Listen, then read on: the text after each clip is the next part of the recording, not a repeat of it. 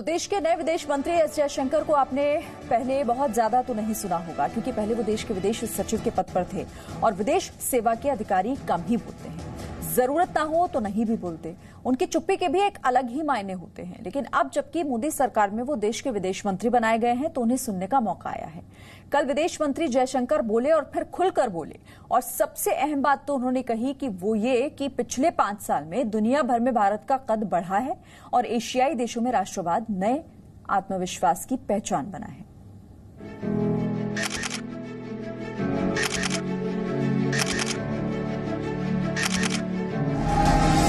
पाँच साल में दुनिया ने माना हिंदुस्तान का दम। राष्ट्रवाद ही ज़ुबान, मेरा देश महान। याद कीजिए, अप्रैल 2015 यमन। 4000 भारतीय फंस गए थे। तब सबसे बड़ा रेस्क्यू ऑपरेशन चलाकर हिंदुस्तान ने अपने एक एक नागरिक को देश सुरक्षित पहुँचाया था।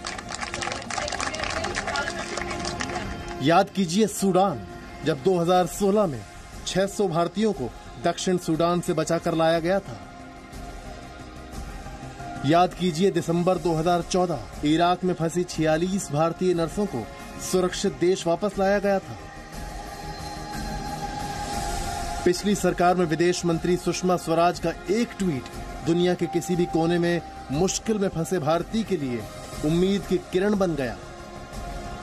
विदेश मंत्री एस जयशंकर ने जब विदेश मंत्रालय की छवि बदलने की बात कही तो उनके जहन में भी यही सब बातें रही होंगी। Any India if they are in trouble anywhere in the world somewhere the Indian government would do something for them I think it's done an enormous amount one to to frankly change the image of the foreign ministry विदेश मंत्री S Jaishankar ने कहा कि आज के दौर में आर्थिक बदलावों को अमल में लाने के लिए विदेश नीति की भी अहम भूमिका होगी।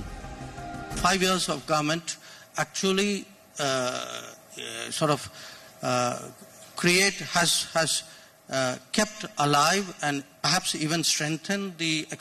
of change in this country विदेश मंत्री ने कहा कि उदारीकरण के कमज़ोर पड़ने की एक वजह दुनिया के कई देशों में राष्ट्रवाद का उभार भी है।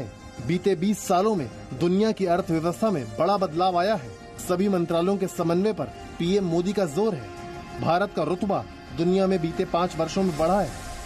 सवाल ये है कि क्या मोदी सरकार का दूसरा कार्यकाल देश को वाकई दुनिया में महाशक्ति के तौर पर स्थापित कर पाएगा? हमारा देश विश्व के फलक पर एक महाशक्ति बनकर उभरेगा और भारत माता को जो उचित सम्मान विश्व के अंदर मिलना चाहिए वो उचित सम्मान मोदी जी के नेतृत्व हम निश्चित प्राप्त करेंगे। विदेश मंत्री ने आज जो कुछ कहा वो एक तरह से बदलते भारत की गवाही है।